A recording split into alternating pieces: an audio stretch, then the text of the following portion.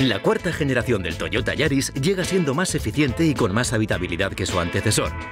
Dispone de un motor híbrido de gasolina y eléctrico que le hace llegar a los 116 caballos. Además de todos los sistemas de seguridad y conectividad para hacernos la vida más fácil. Después del gran éxito del primer subeléctrico de Audi, ahora llega la variante deportiva en dos carrocerías denominadas e-tron S y e-tron S Sportback. Entre los cambios más notables se encuentra la incorporación de un tercer motor eléctrico que eleva su potencia hasta los 496 caballos. Seguimos en modo eléctrico con el nuevo 500e de Fiat. Este urbanita ha crecido respecto a las anteriores versiones de combustión, pero eso no le impide ofrecer una autonomía de 320 kilómetros. Gracias a su batería de iones de litio de 42 kWh, es capaz de pasar de 0 a 50 km por hora en 3,1 segundos. Las míticas siglas GTI llegan a la octava generación del Volkswagen Golf.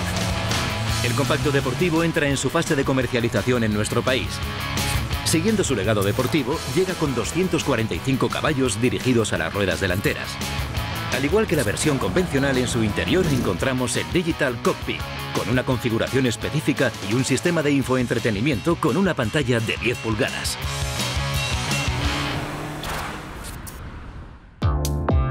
Lujo, confort, tecnología, todo a lo grande.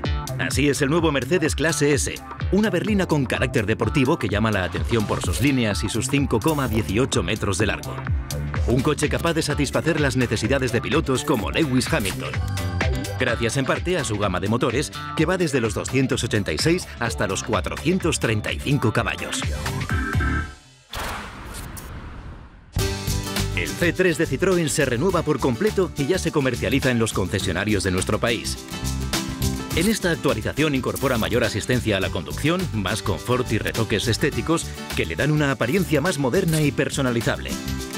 Todo esto y mucho más os lo contaremos en la prueba que le haremos la semana que viene en centímetros cúbicos. La firma del tridente, Maserati, ha presentado uno de los coches más esperados del año, el MC20. Este espectacular superdeportivo está propulsado por un motor V6 de 630 caballos, suficiente para llevar al modelo italiano hasta los 100 km hora en solo 2,9 segundos y hasta 325 km hora de velocidad máxima.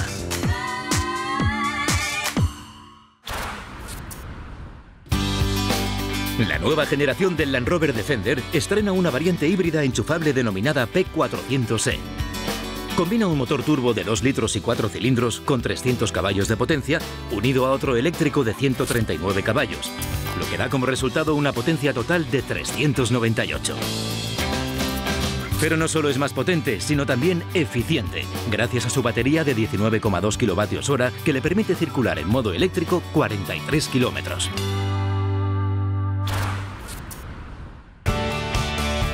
En Gran Canaria, una treintena de profesionales sanitarios tuvieron la oportunidad de ejercer de copilotos junto a numerosos pilotos locales que se sumaron a la iniciativa Rally Héroes.